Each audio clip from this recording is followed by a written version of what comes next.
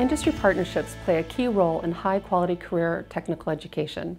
The Enhancing Career Technical Education through Industry Partnerships modules are designed to provide the viewer with information on the importance of partnerships, how to create meaningful district advisory committees, engage local community and work-based learning, as well as market your needs to the community. The viewer will also learn more about the Visalia Partners in Education Advisory Committee, which plays a crucial role in the Visalia Unified School District's career and technical education pathways. All right. Good morning, everybody. My name is Bill Davis. I'm with the Visalia Unified School District and happy to be here with you this morning. Uh, really wanted to start taking a look at why we do partnerships. We talk about partnerships a lot in education, especially as we start looking at work-based learning and how vital uh, partnerships are to our work and to um, making and building those experiences for our students. So when we look at why partnerships, you know, uh, the old television show Bosom Buddies, had, there was a partnership. But was it the partnership that we're talking about today? Probably not. The partnerships we're looking at really come together between our industry partners and our schools and help support um, our work-based learning activities, whether those are guest speakers, job shadows, um, internship opportunities, or mentorships. Those are really the key um, to why we need partnerships. And a lot of times we think about partnerships, we, we want to jump um, we want to jump right to the end of what a partner might want to do for us. And really it is about building that relationship with our partners and about making sure that they know what we're doing and we know what they're able to do and, and then we kind of grow as we work through it. Um, a lot of times those partnerships come from our advisory committees, and that's really where a lot of our partnerships begin. So as we go through today, we'll talk about how vital an advisory committee is and how we can use them to support our programs and then build other partnerships um, within um, a particular industry sector or in particular community. Um, and then lastly, donations. You know, I think the old days, a lot of times that was what we, we sort of thought about. Um, we want, uh, we need this, let's call this partner and see if they'll donate it to us. Um, now we really want to step back about, less about what we need uh, material-wise and more about what we need in support of those partners um, in regards to those experiences. So um, again, coming into a classroom or hosting a job shadow event, those are much more vital. Um, and then project ideas, that's another big one we are in the classroom as teachers and administrators, we're not out in the industry a lot. Um, teachers that have that industry experience have that opportunity and have that ability to, um, to know what is needed. But a lot of us have been out of the classroom for a while and we don't know how the industry may, maybe has changed. So partners can bring um, project ideas, um, uh, ideas to the classroom that maybe we hadn't thought of before. And in turn, your students can and possibly do a very relevant real world project that then in, uh, a partner would take and actually use in their company or it may just be a project that you do in your classroom and never goes any further. But again our partners help us in so many different ways. Work-based learning um, helping with donations helping our uh, advisory committees and ultimately really helping to support our classes with projects and, and other great ideas. So what does an educational partnership look like you know, we, we talk about uh, partnerships a lot. Educational partnerships really that uh, educator and business person working together towards a shared goal designed to benefit students while at the same time achieving goals unique to each partner. I think in education we sometimes think it's a one-sided uh, relationship, that we are the ones that need and need and need. And so sometimes we're afraid to ask. And in reality, as we build those relationships with our partners, it may start out that way, but as we move forward, partners, partners will start to see where they're benefiting from this relationship.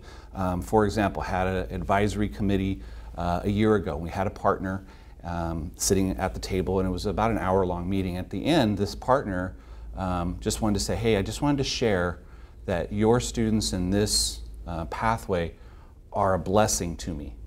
And as a longtime educator, it kind of took me back a little bit. So I, I asked, what do you mean by that? And so uh, the, the partner explained that the students had been to their business and, and, she was just there working, but had an opportunity to speak to them briefly, um, saw them in, their, in her company during an industry tour, and then at the World Ag Expo, about four months later, um, this company had a booth and she was there again, so the students saw her and, and recognized her had an opportunity to reconnect and, and um, stuck their hand out and um, talked with her and shook hands and, and talked about the booth. And then she came in as a guest speaker and they welcomed her and uh, so, um, so happily, I guess, or so uh, they were so welcoming. Um, it just really warmed her heart and it made her uh, appreciate what she's doing. It made her appreciate the work she's doing now. Uh, and as I've shared with a lot of folks, companies would spend uh, thousands of dollars to get consultants to come in for people to help build um, enthusiasm and confidence and um, self awareness and self appreciation into their employees. And this person got it for free by working with some students. And so I don't think we sometimes realize the power um, that students have on, on our partners and the experiences, how they can affect our employees. So that's really a, a huge. So as we think about it, it may start out one sided and it may seem like we're asking a lot, but as we go, as you move forward and you start interacting or the partners start interacting with uh, your students in meaningful work-based learning events, um, the return on investment really starts to come out. So elements of a strong partnership, collaborating as equals, um, they want to be involved, they want to be valued. If we just invite folks or we just call them up and say, I just need you to come and sit at a meeting to sit at a meeting, nobody wants to do that. Folks want to feel valued. They want to feel as if they are contributing, they're involved. They may not be able to do everything, but they want to be involved where they can, even if it's just to recommend someone else. So folks want to be involved. They want to be considered an equal, not talked down to, um, and not, not treated as somebody different, um, but just as part of the team.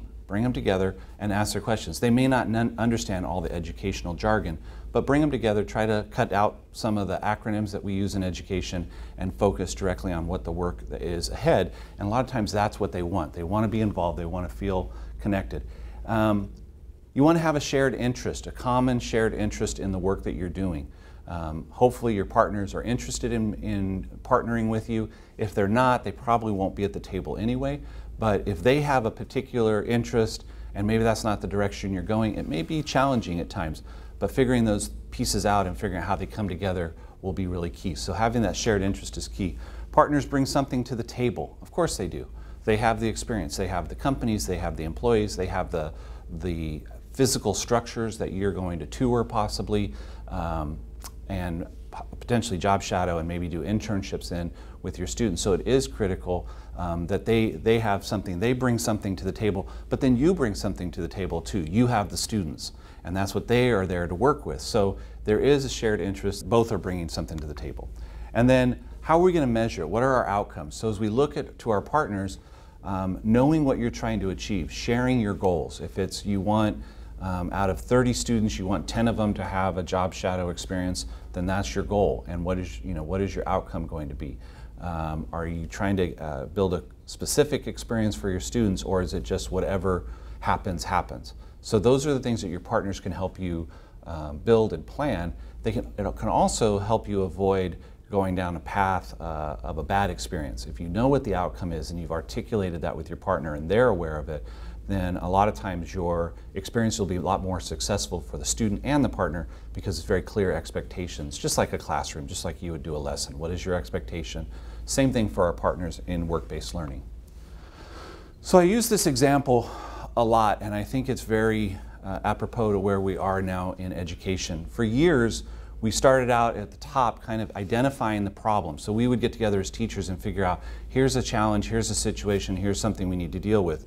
And then in our own little group, we would say, well, we need to get some partners together, or maybe I need to buy this piece of equipment, or I need um, something from this person, and then we would go find the person. And it was really kind of after the fact. The, the person was actually the solution not really part of the solution, they were the solution. And, and that works at, at times. But when you really are building a partnership, it's about building it with your folks. And so we've really kind of tried to flip this thing on its head and really find your partners. And so that's where you have possibly an advisory committee already in place. And so as, as situations come up or challenges with curriculum or maybe changes in equipment or administration, how do you deal with those um, and how do you deal with them with your partners? Not in a separate meeting, not by yourself and then come tell the partners what you want them to do, but bring it up with them and talk about it. Um, prime example, we had an advisory committee a few years ago, um, very early in, in this very young advisory committee, but the teacher said, I really would like um, eight guest speakers. And so um, eight guest speakers seemed manageable, so she brought it to the advisory committee. Now she could have done it all on her own and tried to organize it, but she said, you know what, let me, let me bring this to them and get their input. Really not a problem, more of, a, of a, an opportunity. And so we brought it to the advisory. She said, I would like eight. Well, one of the folks in the advisory said, eight's going to be really hard. I don't think we can do that. The chair, on the other hand, said, eight seems kind of small. I think we could do 12. What do you guys think? And so around the table, everybody started talking. Unfortunately, this one lady was sort of uh, left out of the conversation, and she eventually came around to it. But by bringing the partners to the table, we could have had maybe no guest speakers, but in the end, we wanted eight, we got 12 um, committed, and in actuality, they ended up with 15 during the year because the partners were so engaged um, and it was sort of a, an ongoing conversation throughout the year. Well, how many are we? How many have we had so far? Hey, we reached our 12. We still have a couple more months. Do we have more opportunities? And we brought more in. So it's bringing the partners around the table to help find that solution, find the answer, and then move forward and design the solution and, and, and do it. And so we really need to think about this with our advisory committees and our partners when we meet with them is what is that problem? And instead of having the answer all ready to go, let them think about it, let them work on it, because they have a, a, whole different mindset than you do sometimes. Field of Dreams. Great movie. Uh, the whole premise of that movie, and everybody talks about it still today, is if you build it, they will come. Uh, I equate that to our advisory committees. If you build a strong advisory committee that has a purpose, has a goal, and has people actively involved, they will come. They will come every time you meet. They will be engaged. They will be ex excited to be there. So building uh, and maintaining a meaningful advisory committee is crucial. So what does that look like? So why, first off, why do we even have advisory committees? Who's in there? Um, what do they do? How do you engage them? We get them to the meeting, but then how do we ask those questions? And then what our outcomes are for our advisory? And so as Arsenio Hall used to say, things that make you go, hmm. And that's one of those things that makes us all go, hmm, because for years we've done advisory committees, um, sometimes um, successfully and sometimes maybe not so successfully. So if you look at legislation uh, and things like Carl Perkins and a little thing called the Ed Code and the new CT incentive grant, it says you have to have an advisory committee. It's part of our work. Um, and as I work with teachers across my district and across the state, um, I find some are very passionate, very excited about their advisory committees, and some, some are a little less excited um, and not quite sure how to tackle that, that monster. And so uh, as we look at advisory committees, know it's something that's expected, um, and it's expected for a reason because that's that industry connection. As teachers, we can very easily lose track of our industry or lose touch with our industry by being consumed with all the educational jargon and initiatives that are coming at us all the time. We, some, we can very easily lose track of our industry, and that's why advisory committees are so crucial and so vital to our work. So who's in there and where do we find them? So we look a lot of times for industry leaders and I like to call them the movers and shakers. It's great to have an employee of a company, but if you can have somebody higher up, maybe a general manager. If it's a large company, um, maybe not the, the owner, but somebody just below that. Or if it's a small company, possibly owner. We, in our district, we, we have a, a very um, active automotive advisory. We have uh, four automotive programs in our district. And so we work with a large company that has multiple dealerships, but we also work with independent dealer uh, shops. And so sometimes we're working with a manager, sometimes we're working with the owner, but those are the folks that can get your, your message out and can make things happen within their own company. So movers and shakers are great, even just in a particular industry. It may not even be tied to a particular company, just an industry. Community leaders.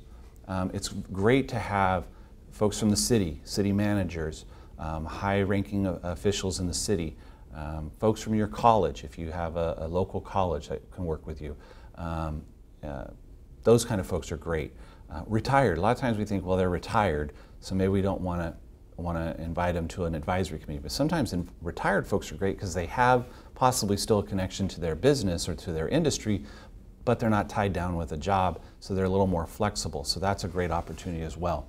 Um, association executive directors. So Farm Bureau, um, we work with our Economic Development Corporation here in Visalia, Chamber of Commerce, those kind of organizations. If you builders associations, um, those types of organizations. We also have an Hispanic chamber here here in Visalia that we work closely with. So those sorts of organizations, those are great places. As I said, Chamber of Commerce, your Workforce Investment Board. Do you have somebody from your Workforce Investment Board that sits on maybe not your individual advisory committees uh, by industry sectors, but maybe an overall district advisory? But those are great people to have access to. And a lot of your workforce investment boards have um, uh, industry sector committees, and so especially for those key sectors in your region. So having one of those folks sit on an industry advisory may be very helpful. As we said, economic development, hospitals. We have a hospital here in Visalia, Kaweah Delta. Um, we have folks from that hospital that sit on our committees um, and are very active. City administration, as I mentioned, utilities. We've had folks from Cal Water and uh, the gas company, um, Edison. Those are great folks to have, and of course, government agencies if possible. So really, it's it's kind of a wide gamut. We really don't tell anybody to not uh, that we don't ever say don't invite somebody to an advisory. Um, but we, we encourage you to, to aim for these types of folks if possible because it really does, um, again, those movers and shakers that can help you get things going. Um, roles of an advisory. You know, there's been, um, there's multiple publications out there what advisories do, help determine which CTE programs, uh, what offer, what's going to be offered in your district, uh, assist teachers with work-based learning, um, serve as guest speakers, review curriculum, uh, facilities, the list goes on and you can see it there. Um, it really is limited to your, to your imagination and to what you're trying to do in your program. It may be one meeting may be talking about the curriculum, next meeting you may be talking about work-based learning. Um, you may have a cycle where in the fall you look at curriculum and then changes are made throughout the year and then we review it again in the fall. Maybe a particular meeting is facilities. Maybe every meeting you're talking about the need for guest speakers and work-based learning activities in your program. So whatever it may be, it, it's really not limited. It could be a one-time situation where we have an opportunity to, opportunity to do something, a one-time event. How do we how do we do that? And your advisory can help you with that. Um, you know, I remember in the past uh, teaching a class.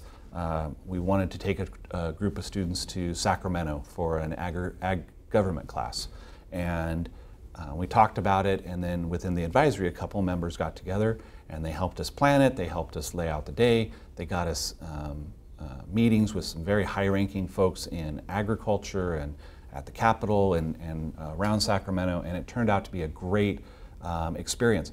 We never had the, the, the, conversation again. We didn't do the trip again, but we did it with that one group of students because of a particular situation, um, and then we never did it again. So you're going to have those kind of one and done opportunities with your advisory. So again, keep it open and, and always be thinking about how you can be working with your partners, how you can include them in your work.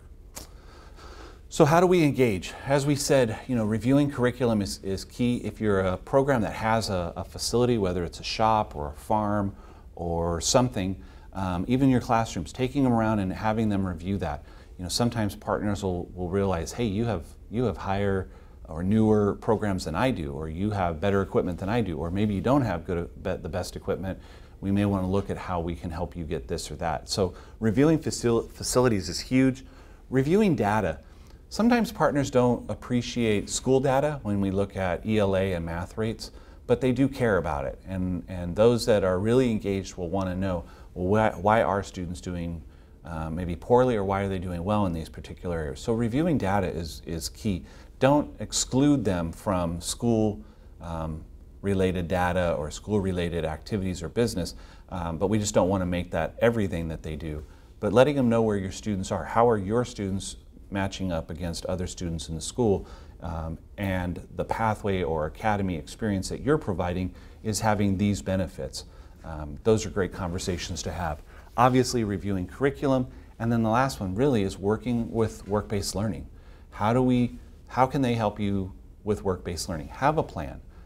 Have a list of things. As I said before, um, they wanted eight guest speakers. That's something you bring to an advisory and you say, we would like to have eight guest speakers. Can you support us in that work?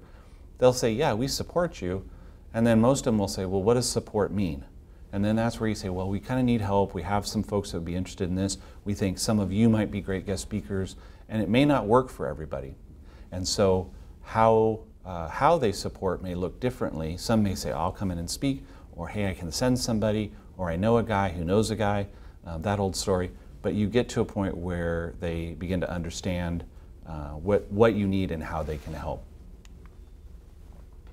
So where do we find them? We talked about that already a little bit, but start, if you're looking for partners to help with uh, particular things like job shadows or guest speakers, like we said, your advisory committee is a great place to start. Um, reach out to your business organizations. If you need a, um, an in electrical engineer, maybe reach out to another partner that does construction. I bet they probably know an electrical engineer. Your own district is great because a lot of times, like in our district, we're fairly large. We'll do something, uh, we'll do, um, we'll need a guest speaker, but our, and we don't know who to ask, our district probably works with somebody in one of those fields. Um, industry associations, as we've said, again, alumni, parents, and so on. Um, again, that circle of, uh, that sphere of influence, you know, who are those really close people? And then how, who do I start tapping or who do I reach out to at this level, that level, next level? Again, not all of your partners are always going to be advisory members. Sometimes you'll have great partners and they may not be on an advisory committee. That's not where they can serve at this point, but they're great, they're a great guest speaker or they host a really awesome, relevant job shadow experience, um, or they can help with an industry tour. So not everybody is going to be an industry part or um, an advisory committee member. Some of them may just be a partner in a particular activity. So those are great folks to have. But never, never close the door on an opportunity or a potential partner. You never know, and they don't know because a lot of times they don't know how they can help. So sometimes just explaining, telling your story about your district and what you're trying to do, or your pathway or academy and what you're trying to do, just sharing that story, a lot of times will help folks find a place where they can fit if they really want to be a part of it.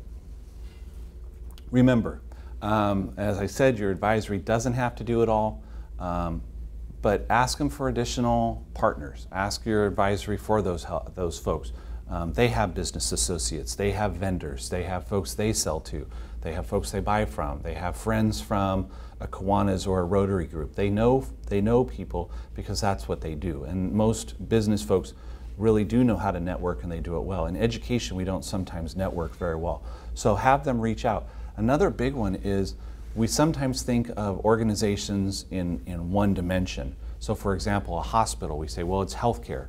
But what goes into healthcare? There's nutritional services, there's HR, human resources, there's accounting, there's business management, there's engineering and construction and maintenance, um, on and on and on. So there's a ton of different um, industries represented in that one company, and we sometimes forget that there are other facets of that organization. So for example, Kaweah Delta here, we have students that do work in the health side and they do rehabilitation, uh, work with our re rehab folks, they do nursing, et cetera, um, experiences, but then they also have folks that work with uh, information technology people. We have students that are going to start working with our nutritional, the nutritional services folks.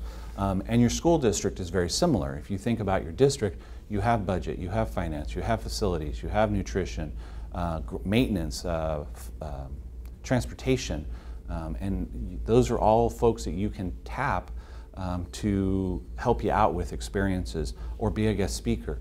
And working for a, an educational institution um, doesn't mean you're in teaching, it might mean you're in transportation or you're uh, a diesel mechanic, but you still work in education. And that's another facet that students don't always realize. So once you have your organization, you have your advisory, you have your partners, how do you engage them? Um, a lot of times we work so hard or we're so worried about getting our committee or our um, board together, we forget what is the work that they're going to do. So just as teachers, we don't want to go to a meeting um, and sit and listen to somebody talk about something we really don't need to do. Partners don't have that kind of time. They're very busy. They have, um, they have jobs, obviously. They have responsibilities to their companies and their families. So being very um, clear with what you're looking for is going to be key. So as we engage, um, first thing is you have to share your vision. And, and that really is, is a challenge for some folks. But stepping back and really figuring out what is the vision, what are you trying to create, and you have to think big. Um, you have to think of what's the best thing that could possibly happen with this group. What could we accomplish? Not all the challenges and things that can't happen, but what could we do if, if everything came together and all the stars aligned? What could we accomplish? So that's the big thing. Share your vision. What do you want to accomplish? How are your partners going to help? Are they directly going to do the work? Is that the expectation? Are they a part of the work? Are they promoting the work? Um, a lot of times you may never have a partner that steps foot in a classroom, but they're there talking about your work. They're sharing it at um, service club organizations. There's, they're sharing it with other uh, folks. They're sharing it over dinner and drinks with friends, um, and they're talking about it and letting folks know the good work that's happening in your school and in your program. So that's key. Um, message with the appropriate people. Are you sharing it with the right folks, your vision? Um, whatever that vision may be. Are you sharing it with your city? If you don't share it with your city, and, and we sort of had that experience a, little bit here in Visalia, we, we had shared our vision and done quite a bit, and then we realized we really didn't have the city engaged and realized we were missing out on a key partner.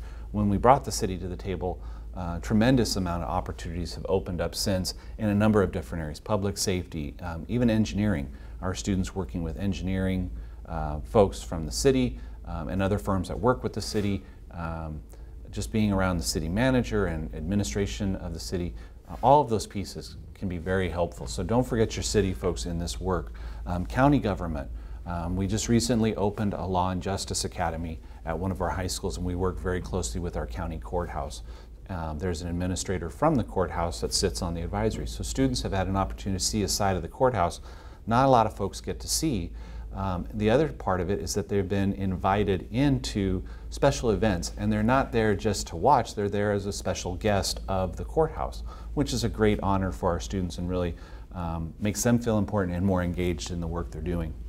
And as we mentioned, economic development, that's key. So again, businesses, when they're coming to your community, they look at, the, at your education system. They look at what type of schools you have, what type of programs you offer. Do you have intermediary organizations, intermediary organizations that can help with uh, work-based learning and those pieces. So um, having those uh, pieces and having those conversations with your economic development folks helps them promote your, your program to other companies and other businesses um, and also potential companies that are coming to the area. And those programs may be that factor that helps pull a company into your community or not. And then lastly, as we said, business leaders. You want those people that are, are making decisions, those people that are engaged, those people that are at the city council meetings, those people that sit on the economic development uh, boards. Those are the folks that you want to understand what you're doing because at the end of the day, when you need help, they're going to be the ones that are going to um, share your message. Um, and so keep those things in mind as you're, as you're building this vision.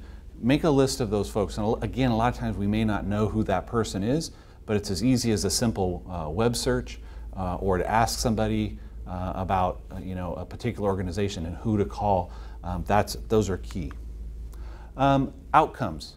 Do you have outcomes for your district? And if you do, those are a great uh, message to share with your partners. Um, partners want to know what our students can do. They have a business, um, they have uh, a bottom line that they're trying to meet, and they want to know that they have a strong workforce coming. They have situations currently with their, with their current workforce that they're trying to work through. So how do we, um, how can we better help them with their business and prepare our students for that, for their jobs. And so um, having your advisory committees or your, your partners review your outcomes. Are those in line with what you need? Um, some cities have done uh, needs assessments through economic development groups, uh, needs assessment for your community. And a lot of them will come back around soft skills, career readiness, um, not so much on the skilled labor, that's, that's key, but a lot of employers just want those career ready skills by being able to share possibly your outcomes, whatever they may be, um, that's key. Also, as you're building your outcomes, it's great to, to do it as an educational organization, but it's even better when you can share that process with business people and get their input because they'll have a different um, take on things than we will in education. So sharing your vision is really key. So return on investment, that's what a lot of companies look for. So what is the return on investment to your partner? Is it advertising? When you have a work-based learning activity or you do an industry tour, does somebody take pictures and write it up, send it to the newspaper? Do you invite the newspaper out? Do you do a press release? Um, when you do an event, do you promote it? Um, or do you have a web blast um, or a newsletter or end up in a chamber newsletter? So advertising the ways your partners help you helps them because then other folks start reading they realize, wow, they're not just a good company, they're also partnering with the schools and look what they're doing here. And sometimes that's a deciding factor on them. Internal leadership development. A lot of times companies are looking for those next leaders in their company. And by mentoring a student or working with a student one on one in a job shadow, a lot of partners can get that initial feel for if that person has that coaching um, spirit, they have that skill set, they have that ability, and maybe we want to invest in them in future leadership opportunities within our company. So it's, it's a good sort of a testing ground sometimes for some of our leaders. Um, that's key. Potential employees. You have a great young student uh, uh, come in for a job shadow and then maybe they intern and then maybe there's summertime work that they can do and you actually hire them. Or uh, they graduate and they go away to college but they come back during the summers and you hire them for the summers to do internship work from through colleges. Um, so there's a lot of different opportunities. We have a, a wonderful partnership with one of our automotive uh, dealers here in town, the Grappetti Automotive Group, and they uh, take students for a year. We go every other week for about five hours a day, and they start out rotating around to different shops and different aspects, so sales and service, parts, and service. Um, and then at the semester, the students pick one area and they stay there for the entire semester, going deeper in that particular area. So they may work in the service department for six months every other week for, for five hours.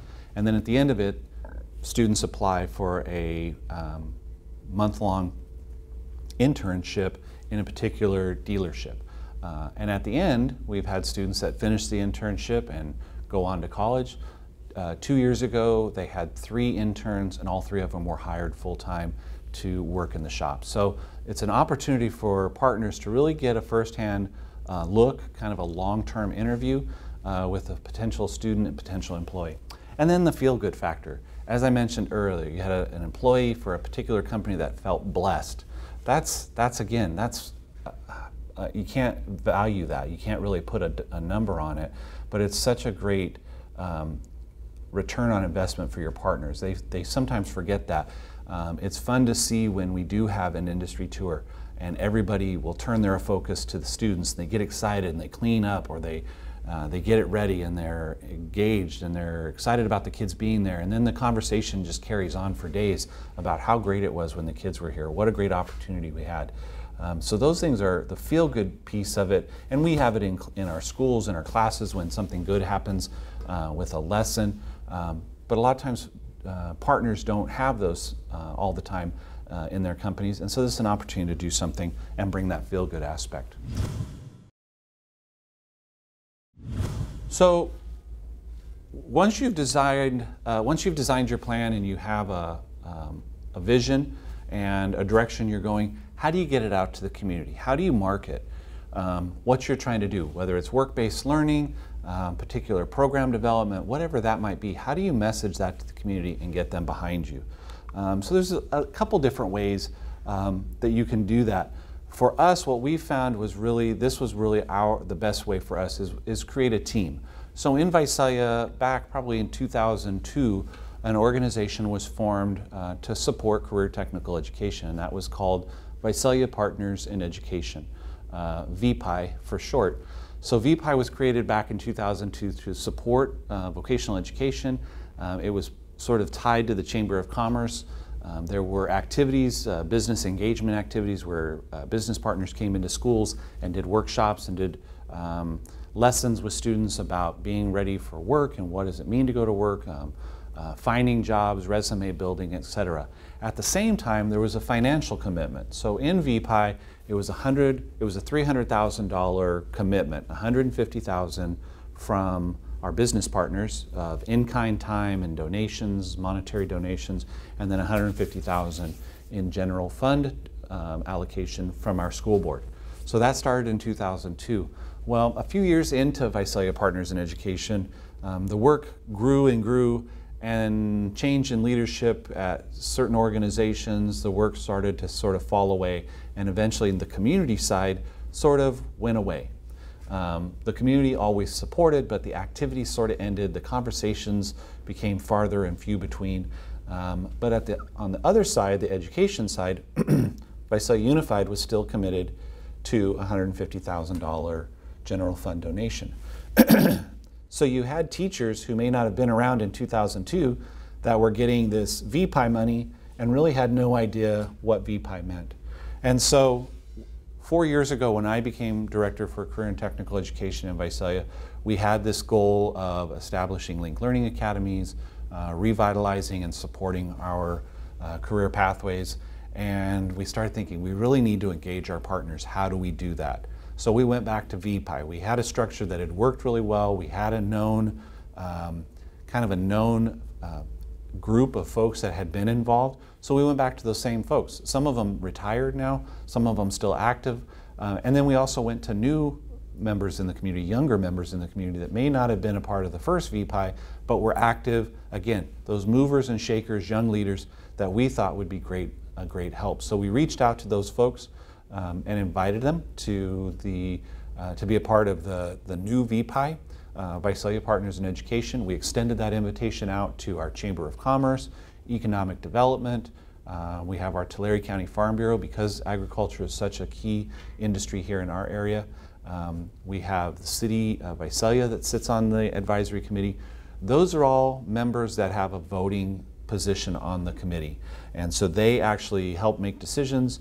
Um, they vote on, on pieces. We have a chair, uh, Mr. Matt Seals, and a co-chair, uh, Mr. Steve Reed, and they both um, help kind of facilitate the meetings. But we also have other folks, education folks that sit on it. So of course I sit on the committee. We have board members that sit on the committee, school board members, and we also have uh, district folks like our superintendent, um, possibly our assistant superintendent will attend.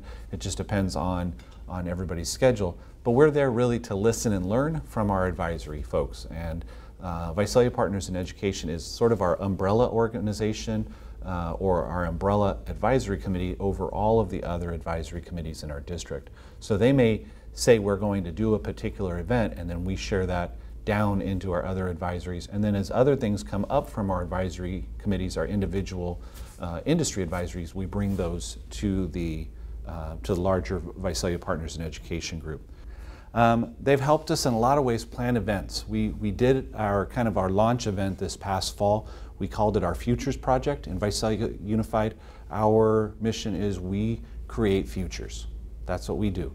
And so Visalia Unified, in partnership with Visalia Partners in Education, launched our um, Futures Project. So looking at engaging our business community in work-based learning, whether it's a guest speaker or a job shadow or an internship, how can our community be a part of our um, students' education and help build futures? And so that was really our work. And VPI, our committee, was uh, very active in, in that process, helping us plan it out, helping us message it correctly for our business partners. Again, we're in education, so sometimes we don't necessarily message things the best way. We message things in an educational way. Business partners need something a little cleaner um, a little shorter, a little more to the point sometimes. And so they've really been able to help us um, do that. Um, they've helped us with production of videos about our organizations. They help us with donation of food for events. Sometimes people need to eat, and we've found when you have a meeting at lunchtime, um, partners have to have lunch, and so they'll be there um, just because it fits into their schedule. And so being able to, to help support that because a lot of our funding is uh, limited when it comes to food budgets. Um, and then having those district folks on hand, it's great to have, if you're the director of, an, of, a particular program, it's great for you to hear the message, but a lot of times we already know the message. You know, I talk to these folks a lot in different settings. It's good for your district folks, your board members and district administration to be a part of these conversations, whether it's at uh, a principal, at a, a department advisory committee, or a superintendent or assistant superintendent at a district-wide advisory committee, to hear the message from your partners is key. So make sure that those folks are there and that they're able to uh, be a part of the event. So for example, here was a, a lunch meeting we had just recently. Uh, we uh, recognize 10 partners every year. We started this about three years ago. We have a lunch event um, in conjunction with our uh, Linked Learning recruitment events. And so we invite partners in. The first year was really just to say, hey, this is what we're doing. Here's our event. Here's our, um, here's our, our academies. This is what we're doing. Year two, we actually started recognizing outstanding partners. So those folks that you know, took a lead in an advisory committee or really took charge of an event and ran with it, we recognize those. This last year uh, in January, we recognized 10 partners. We had a really nice lunch. We gave them a nice plaque. We're able to um, um, speak to their to their support and their partnership and really recognize them. Again, um, as a director of CTE, I'm a Visalia Unified employee, and, and so we're only a piece of the Visalia Partners in Education organization. We aren't the organization, it's a partnership, and it's an organization of, of business and industry. And so, for example, our chair obviously does the welcome. Our uh, executive director of the Chamber of Commerce, she helped with the awards. Our su superintendent did a, a brief welcome from our district and thanked folks for their participation in our work. So again, it's really a community. It's not about Visalia Unified doing something.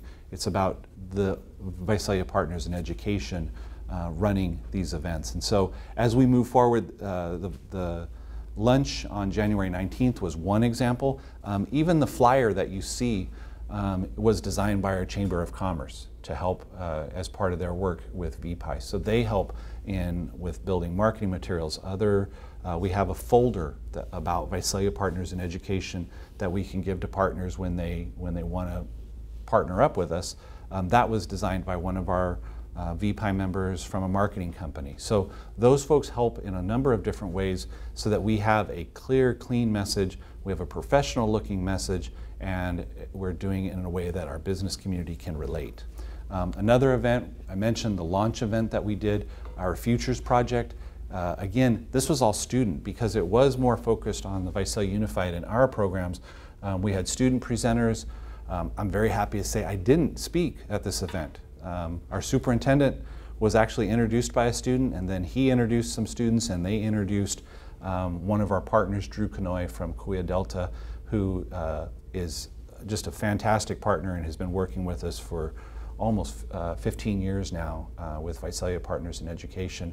Um, and so she spoke to the to group to be able to speak directly to our partners about the return on the, the return on investment, the benefit of work-based learning, the benefit of engaging with schools and partnering with Visalia Unified. So having these organizations, um, um, having this type of organization in your community, you know, ours is Visalia Partners in Education. You may have something else.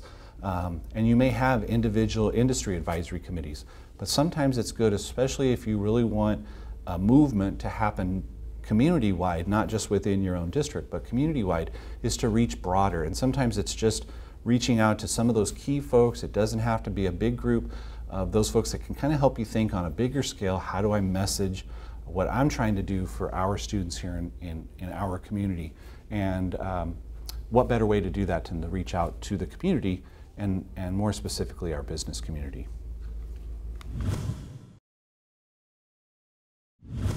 Many years ago, VPI was a part of my life and it was called something totally different. And I got involved because I had a small business and I wanted to get involved with getting education and my business together. And uh, it was through the chamber we have a fabulous chamber in Visalia, and it was through the chamber that I got involved. And I think that the future of our community lies in our kids. And so involving my business with kids was very, very important so that I could expose them to what I was doing. And at that time, it was a bronze art foundry, but it was bringing kids in, giving them an experience they wouldn't have any other way and not ever having that opportunity. So I think that VPI offers kids the opportunity to come in and see the real world at work, the real business world. Um, we ask kids to go to school, but they need to understand how that's relevant to what they're going to be doing in the future. I think the mission of VPI is connecting businesses to the um, commodity of kids so that they can see firsthand what's available and know the um, kind of kids they're looking for for their business. It's a peek at what the opportunities are, who's, who's the, uh, the commodity they can bring into their business, take a little peek at it and see if it's worthwhile, and give these kids the opportunity to see their businesses. So I think it's bringing the two together. At Kaweah Delta, we have a MAP program, which is a Medical Assistance Apprentice Program, and it is fabulous. We bring these kids in, and they spend a whole week getting exposed to every aspect of the healthcare system, whether it's a physical therapy approach, whether they get a, um, a little peek at the IT program, nursing, they get to get uh, marketing. We went in with our marketing department, gave them a little overview of marketing. So they would understand every aspect of business that's in a hospital because for us, a hospital is many, many businesses under one roof. And so we have brought the kids in. Now we have an apprentice program where the kids come in, they spend time in the hospital, they're working on our floors, they're volunteering there. Uh, we had kids come in over the summer who worked in our IT program and got to support the IT guys. They put in all kinds of um, electrical pieces that otherwise they would never see the insides of the halls of the hospital unless they walked through the ED. So um, kids have always said, I want to be a doctor, I want to do this. How do they know? How, they watch too much TV, you know? How do they know what's really happening there? So we're able to bring those kids into our business and allow them a real hands-on uh, view of what goes on in the business of the hospital, whether it's in the finance department or whether it's in the uh, emergency department. in the medical profession, it, it's more difficult because of HIPAA compliance. So if you can work through their um, human resources, which is exactly what we did. Um, Bill Davis and I went in um, because we're passionate and we're pushy and went into the HR department and said, we have an idea and how can we do this? And so what they were able to do is use their um, program by which they get nurses to come in on um, apprentice programs there, use that same kind of model to get the kids to be able to come in. We put the kids through all the processes we do of a, a volunteer program. So like our guild and all those folks. So if you treat it like a, a volunteer program and use those same kind of guidelines, you can get these kids approved to come in. And you, you, it's a process. It took us a while, but it, it's really worthwhile because we had kids that uh, years ago we had a um, a, a young uh, candy striper program, and it had gone away, but same thing, the kids had the opportunity to come in, so we were able to reestablish that kind of concept by going back and, and setting it up this way. You have to be tenacious because it's really easy for us in the healthcare district to go, I'm sorry, we have HIPAA rules, so you can't come in. But there really are lots of ways to bring the kids in, and, and it's basically do, being willing to do the paperwork. Um, just like anything, there's a lot of paperwork. We have to do, we put the kids through an orientation just like they were becoming an employee. So they spend a day in orientation. Uh, that's part of the commitment. They fill out an application. So they do everything like they were applying for a job, and yet they're going to come in on an intern basis. Well, I love it because I love seeing the energy of these kids and what they really know and being able to expose them to what we're doing. Um, I think from a business point of view, the advantage to me is having the opportunity, say you have six kids who really say they, and I'm going to use marketing even though I'm in the healthcare because I'm in the marketing department, but I've had a lot of kids come in and intern with me and I get to say, you know, there's a future employee this person, we had a young gal come in and she says, you know, I, I really love to do charts and stuff and I needed an analysis done. I just gave her the work. She went out and did a whole Excel analysis, did charts and bar charts and graphs and, and came back and presented me this, the most beautiful report that I would never have generated on my own because I would never have taken that time. I thought, here's a potential young person that if she put her application in, I'd hire in a moment. And I've had these kids come back and put in applications, and yes, it's awesome. So you get to see firsthand, you know, the cream of the crop. So I think it's great for business that way. Also, it gives us an opportunity to know what we need educators to know. Um, there are so many times that we get complaints from business saying, you know, these kids are not coming in here educated the school district isn't doing a good job. No, I would challenge that and say, no, we businesses are not doing a good enough job educating our educators about what we need the kids to come out knowing. So here's our opportunity to say, partner with the schools, say these are the kinds of things we need these kids to do. And you know, on the other side of it, they'll go, yeah, but we don't have that equipment. And I know in this community, those businesses have stepped up, put that equipment into the schools so the kids come out trained and ready to go to walk into the workforce. Uh, the Visalia Chamber of Commerce became involved in the Visalia Partners in Education because what we were hearing from our members, from businesses, is that there really was a gap they wanted to create a pipeline of the next wave of employees, but when they were interviewing those people, when they were bringing them on board, they lacked the skills that they wanted them to have. And they said, gosh, I really wish that educators knew this was happening in my industry, or if I could tell these students how to engage with my business better, I think they'd be better applicants and ultimately better employees. And so for us at the Chamber, filling that gap and uh, creating that pathway for the employers to educate and influence the way that education is being taught and to affect their next generation of workers is the reason that we are involved. VPI for us and VPI for other people is a place as a community to come and have a voice, uh, to have a vote, and, and to have influence. Um, it's an opportunity for us to affect the future and as business leaders for us to, to create an investment that's going to pay dividends not only for our business but for our communities for decades to come. So that really is, um, while we gather for lunch and we talk about what's happened um, in the last quarter, it's really an opportunity for us to dream about the type of community that we want to have, the type of employees that we want to have, and to think strategically about how we get those students to become those employees. the Chamber's involvement, I think um, it's about creating that uh, value uh, for members. Uh, when they join the Chamber, they want to have uh, value for their business and for them this influence and, and that ability to affect the leadership and the um, workforce that they have is important. For me personally, one of the things that I really enjoy is when I get to watch a member have an aha moment. Uh, we had a member who was challenged to have interns. And as they were sitting there thinking, there's not a way for me to have interns, uh, Bill Davis uh, said, there's got to be something that's on your back plate, something you've always wanted to do, you just don't have time. And he thought for a minute and said, well, actually there is. Uh, there's this project that I've been looking at the way that we've been contracting services and creating bids um, and the way that we bid and versus the final contract and what the percentage differences is, and that could affect the way that we bid going forward. And Bill says, I think that sounds like an internship project. Um, and further, you could have that internship be year over year because what this year's interns find might be different than what the next year's interns find. And giving those students that creativity to give the data and to say, give me your findings is important.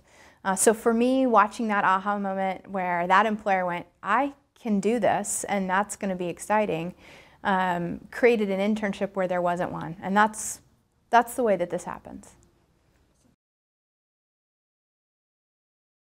Sure, I think one of the things that is beneficial for students to be involved with um, as far as job shadows or, or mentorship is really to see the classroom come alive. Um, I've read books, um, I've even watched videos, but being there in person changes your perception of things. The same is true for our students. Um, we all have businesses that are unique and different, and having those students come and experience that, there's some pride um, that you get to share what you get to do. The best businesses, though, are open for those students' reflections. They see things in a way that we don't see. We're there every day. This is our business. For many businesses, this is something they've done for decades. And to be able to have that high school student say to them, why, why did you do it this way? Or could you have done it that way? Um, those are important questions for business to ask, and often we don't have the opportunity to do that, and the students provide that. So initially, that feel good that you give to students is important, but I challenge employers all the time to make sure that you're getting out of the students that perspective that becomes so valuable for business as well. You know, as chambers, we talk a lot about um, creating value without involvement. It's certainly a buzzword in our industry.